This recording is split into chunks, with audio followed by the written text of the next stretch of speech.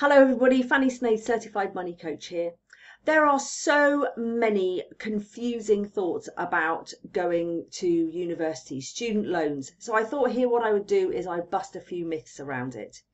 I originally did this, um, showed this presentation at a Freshers' Day at a local university. There were 150 students in the audience and I said to them, look, I'm going to go through how student loans work. If you completely understand how your loan works, we'll just skip over it, right? And go to the next section. So put your hands up if you know what know how student loans work. And about two people, two of the students put their hand up. So I went through it and this is what I said to them and I'm hoping this might help you. It's very short and very quick. First of all, the first thing to consider when you're thinking about going to uni is the price versus the cost.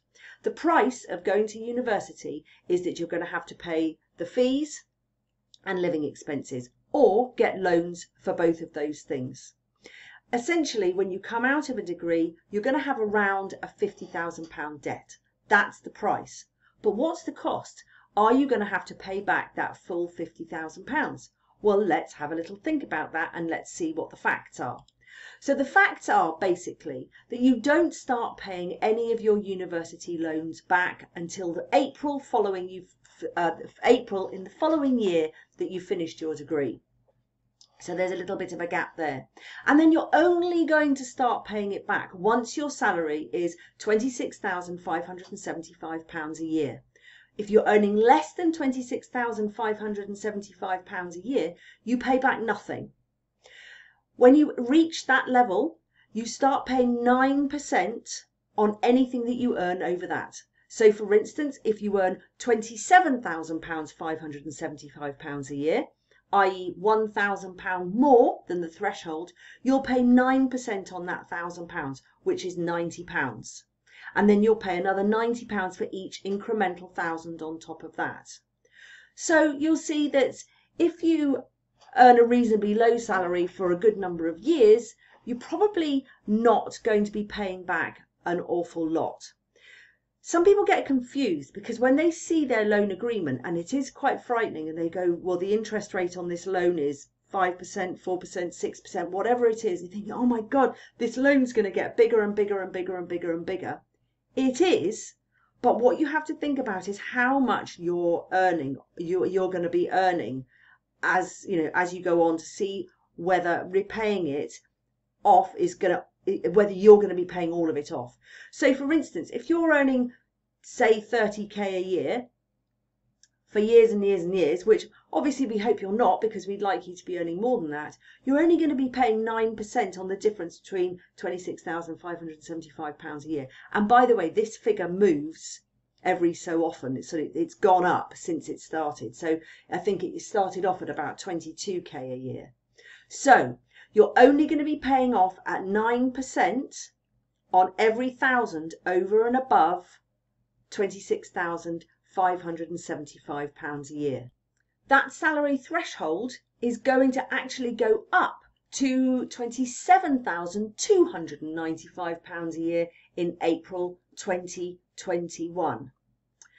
So let's just go over that again. If you earn £27,000 a year in a year, what do you pay? The answer is £38.25 because 27,000 is 425 pounds above the threshold of 95% and 425 pounds 9% of that is 38 pounds 25 if you earn 35,000 pounds a year you're going to pay 758 pounds 25 because you're 845 8,425 pounds above the threshold. And 9% of that is £758 and 25 pence. Do you get the idea? So don't be panicked. If you're if you or your child has not got a job that is very highly paying, the amount that they're going to be paying back is really quite short, quite small. And guess what? If there are any um, job gaps, i.e. you stop working, your child stops working, the payments stop too which is amazing. Okay, so the payments stop too. And the other part of it is that after 30 years, whatever is left of the loan is wiped off. It's just wiped. It's written off. It's gone. Absolutely gone. How amazing is that? Good, eh? And really, the last thing that I wanted to say is she wants to try and change the slide is that having a student loan will not go on your credit history. So unless you choose to tell somebody that you've got a student loan, it's not going to show up on your credit score, um, which is a good thing. Now, this is these are the basics around student loans. My personal view is that um, having a, a debt, a psychological debt of fifty thousand quid, where where it is, I think it's a horrible thing to have to have. I don't think it's uh, even anywhere near as important as your child going to university or you going to university if you want to, because the chances are that unless you've got a really high paying salary, many people are never going to pay back their loans. There are loads and loads of calculators and stuff online. There are two websites that I would recommend to get more information about this. And there's, I mean, so amazingly shown on the Martin Lewis MoneySavingExpert.com um, website. I mean, it really is good. There's a whole student section. And then if you go to the page student loans, tuition fees, charges, it's all there for you. And then there's another website that I would also recommend for all students, which is called Save the Student, which is absolutely fantastic. So have a look at that. I hope that you found this useful as a first thing. Send this to your friends. If anybody, any parents are saying, look, don't go to university because the debt's so high, please show them this video because it really isn't worth putting a halt on their education for a student loan that they may may never pay off. And if they are earning such amazing salary that they are paying off more every year, then it's still worth it, right? Because the university degree or their university education will probably have helped them get there. So I hope that's been helpful. Um, let me know if you've got any questions.